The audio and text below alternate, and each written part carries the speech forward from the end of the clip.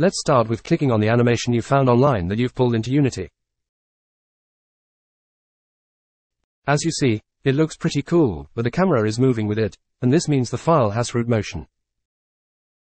Oops, nearly forgot.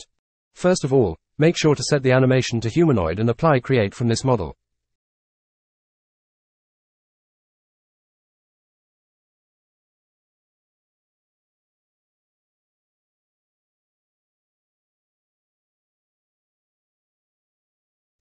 Go to the Animation tab and scroll down. Use the settings as seen on the screen. Basically, everything should have the bake into pose toggle set to true, and the based upon original toggle as well. Occasionally, center of mass gives better results.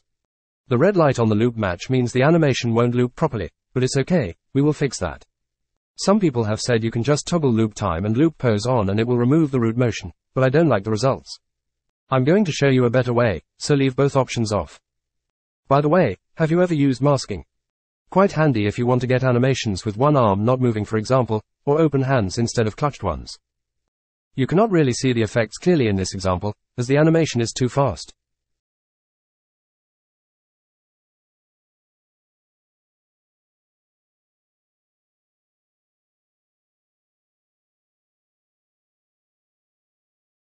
Anyway, hit apply. Now open up the original file by clicking on the arrow to the right. You cannot edit this file, which is read-only, but within the file you'll see a triangle with a hamburger menu, three lines. This is an anim file. Click on it, and hit Ctrl plus D. It will now duplicate externally, and the copy will be editable.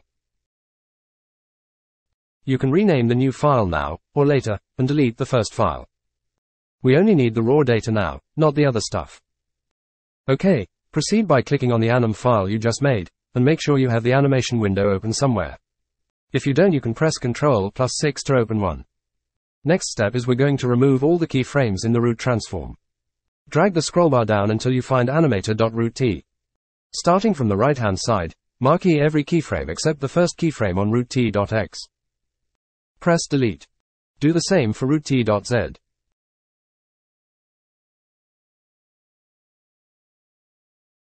Voila! You have now removed the root motion. Bonus tip. Did you know that you can now use the anim file and drag it into any other Unity project you have?